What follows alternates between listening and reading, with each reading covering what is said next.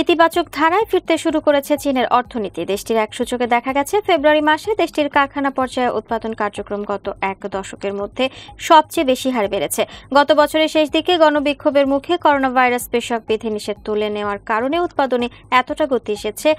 চীনের national bureau of স্ট্যাটিস্টিক্সের তথ্য NBC অনুসারে ফেব্রুয়ারি মাসে দেশটির manufacturing, purchasing managers index PMI এর মান ছিল বাউন্ন দশমিক ছয় পয়েন্ট। জানুয়ারি মাসে যা ছিল জানুয়ারিতে পঞ্চাশ দশমিক এক। ধরা হয় পিএমআই পঞ্চাশ পয়েন্টের নিচে থাকলে উৎপাদন সংকুচিত হয়েছে এবং ওপরে থাকলে সম্প্রসারিত হয়েছে। বিশ্লেষকদের ধারণা ছিল ফেব্রুয়ারিতে পিএমআই সূচকের মান দাঁড়াবে পঞ্চাশ দশমিক পাঁচ। অর্থাৎ বাস্তবে পিএমআই সূচক সেই পূর্বাভাস ছাড়িয়ে গেছে। দুই সালে এপ্রিলে মাসের পর যা সর্বোচ্চ।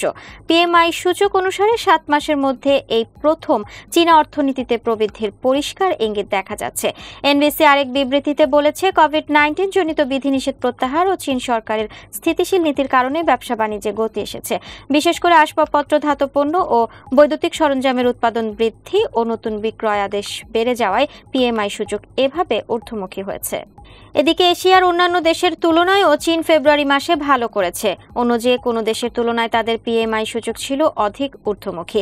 চীনের প্রবৃদ্ধির হার বেশ কয়েক বছর ধরেই ধারাবাহিকভাবে কমছে। বিশেষ করে গত তিন বছর তার প্রবৃদ্ধির হার কমার বিষয়টি প্রকটভাবে চোখে পড়েছে।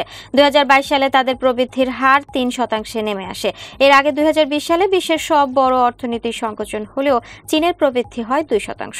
তবে তার আগে থেকেই চীনের প্রবৃদ্ধির হার ধারাবাহিকভাবে কমছে। জানা গেছে, চীনে এক ধরনের কাঠামোগত পরিবর্তন হচ্ছে। তারা এখন রপ্তানিমুখী প্রবৃদ্ধি থেকে অভ্যন্তরীণ ভোগমুখী প্রবৃদ্ধির দিকে ধাবিত হচ্ছে। এতে প্রবৃদ্ধির হার কমছে, কিন্তু তারা মনে করছে এতে প্রবৃদ্ধি অন্তর্ভুক্তিমূলক হবে। এতে অনেক শিল্প অন্য দেশে চলে যাচ্ছে, আর সুযোগ বাংলাদেশ সহ অন্যরা নিতে পারে। আবার চীন যেমন রপ্তানিকারী, তেমনি বড় আমদানিকারীও। ইউরোপীয় ইউনিয়ন ও যুক্তরাষ্ট্রের মতো তারাও বৈশ্বিক চাহিদার অন্যতম চালিকা শক্তি।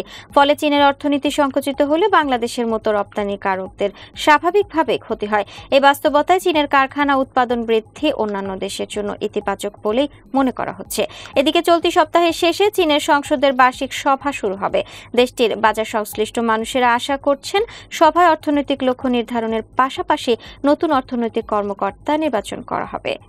গুজরাতাই জানুন, ইন্টারন্যাশনালের অর্থনীতিবিদ শাওহাও রয়টার্সকে বলেন পিএমআই এর এই সূচক বার্ষিক সভার আগে ইতিবাচক আবহ তৈরি করেছে।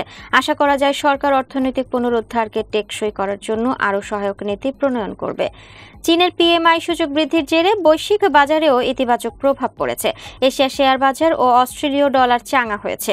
তেলের দামও বেড়েছে। চীনের বিশ্বের বৃহত্তম তেল আমদানিকারক দেশ। তাদের উৎপাদন বেড়ে যাওয়ার মানে তেলের চাহিদাও বেড়ে যাওয়া। তাতে চলতি বছরেও তেলের দাম বাড়তি থাকবে বলেই মনে করা হচ্ছে।